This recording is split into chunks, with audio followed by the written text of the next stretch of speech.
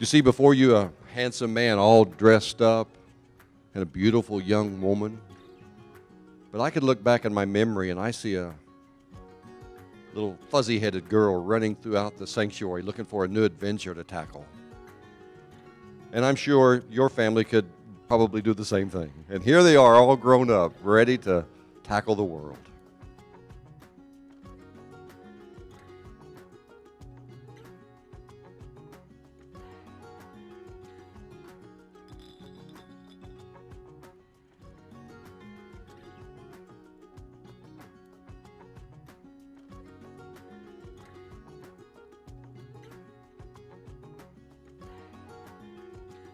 To my best friend, I look back on the path we've taken to get to where we are today.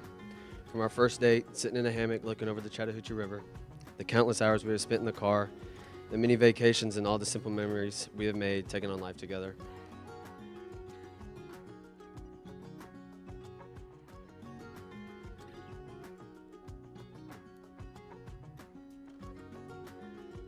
Early on in our relationship, you warned me countless times about your crazy family.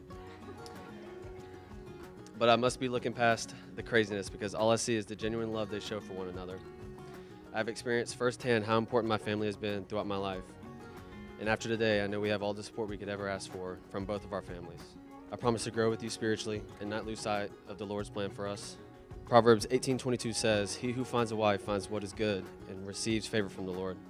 I consider you as my better half. There is no one else I'd rather walk through this journey with than you see. I've been blessed enough to be titled a great son, a great friend, and a great teammate. But I know being titled as your husband will be my favorite title.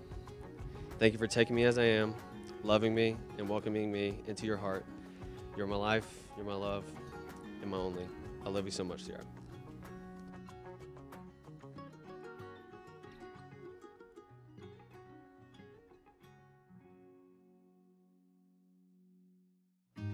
Jeffrey Daniel Ginn.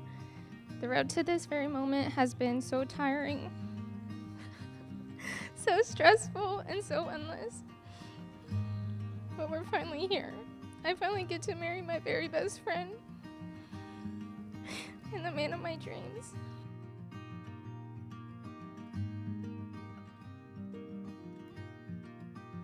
When we started this relationship, three and a half years ago, our biggest worries were game days, final exams, and when we would see each other next. I loved you then because of your sweetheart and the way your butt looked in baseball pants. but today I love you for so much more.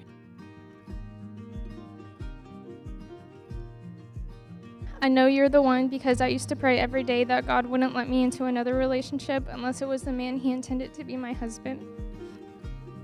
And I'm so glad it's you.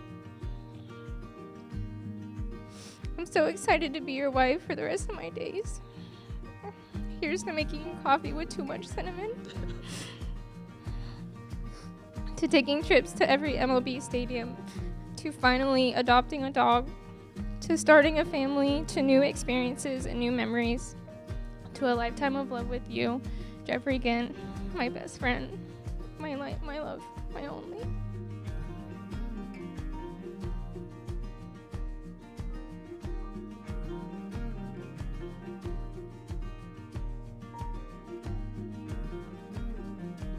And now, no longer two individuals, but now one. In the name of the Father, and the Son, and the Holy Spirit. Please, you've been waiting all day. Kiss your bride.